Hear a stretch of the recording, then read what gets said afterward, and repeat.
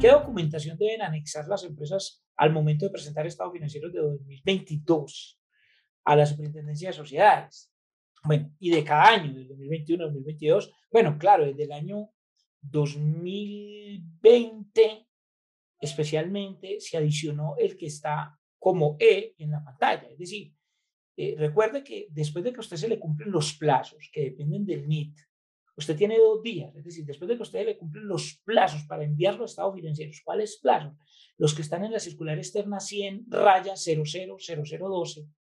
Usted tiene dos días hábiles posteriores a esas fechas para enviar los siguientes documentos adicionales. Uno, la certificación del representante legal, eh, pues firmada por el representante legal, contador público o revisor fiscal de los estados financieros, conforme a la ley 222 del 95, el informe de gestión de los administradores, también conforme a la misma ley, el dictamen del revisor fiscal, eso está desde el Código de Comercio, si es que está obligado, y el informe especial para estados financieros combinados y consolidados que reportan los grupos empresariales, las revelaciones. Tenga mucho cuidado con que todos estos tiene que estar firmados, todos estos documentos deben de estar firmados. Ahí me dicen, ¿y las revelaciones deben de estar firmadas? Yo le digo, claro, las, las revelaciones hacen parte integral del estado financiero. Fírmelas por el contador, pero, primero por el, por el, representante legal, segundo por el contador y tercero por el revisor fiscal, si es que está obligado a tener revisor fiscal. Eh, el E, enviar el acta del máximo órgano social en el que se aprobaron, en el que se consideraron y se aprobaron los estados financieros de cada año. Este es el que digo yo que aplica desde, desde el año 2021 respecto a los estados financieros del año 2020.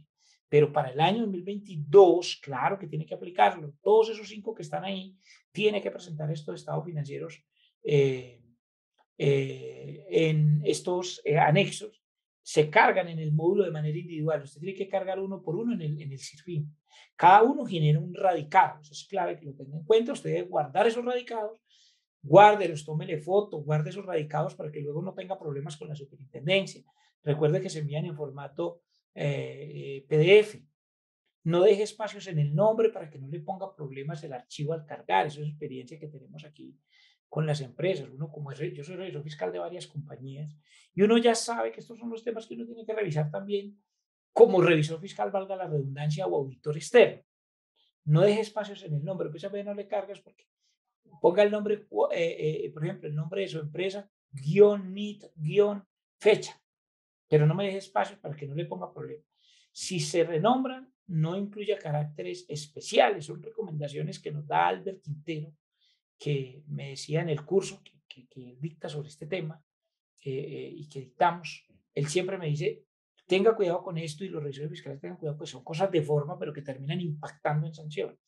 Esa es la respuesta para nuestro usuario que preguntó sobre qué documentación se debe anexar al momento de presentar estados financieros del año 2022 que se reportan en el 2023 en las fechas que determinó la circular 100 00 0012 del año 2022 a la Superintendencia de Sociedades. Disfruta de nuestra programación semanal. Suscríbete a nuestro canal Actualícese Video